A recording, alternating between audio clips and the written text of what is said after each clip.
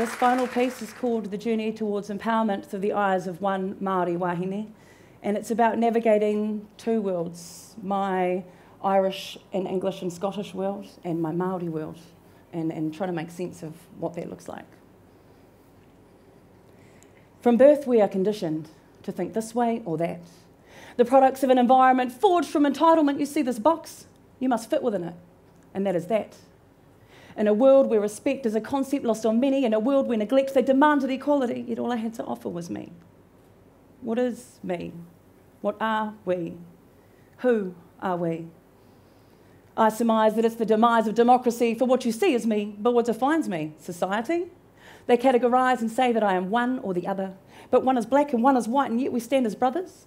Torn between my whenua and whakapapa foreign to me, I stood and bled with the pain of this history unknown to me.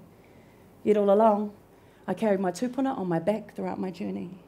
Graciously, faithfully, carry the mana of generations before me. Bigotry prohibited me from performing, forced me into conforming just to fit in, just to be like them, just to be liked by them. Society tells me, level up and be the best I can be. But statistically, I'm a minority. Status forced upon me of what should be, not what could be, not what would be, but what will be. You dare impede me, oppress me culturally, suppress my legacy, and use that to define my identity? Well, you will see. For I am me. I am mana wahine. I don't fit within their scope. And this chasm I can't fathom or conceptualize this idealistic life, so I made change. So I make change. I cross their planes and rearrange this disdain dwarfed reality ingrained within my mind. And what did I find?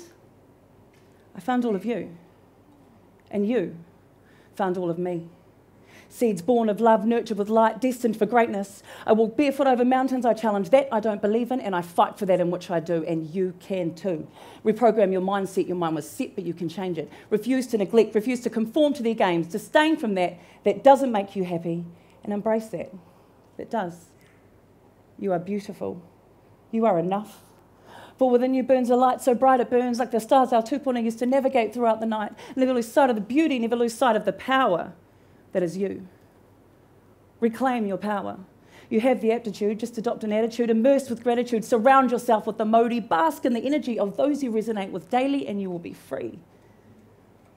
Set goals, smell flowers, appreciate the beauty of a sunset, give within your capacity to give with those you know and those you haven't met yet.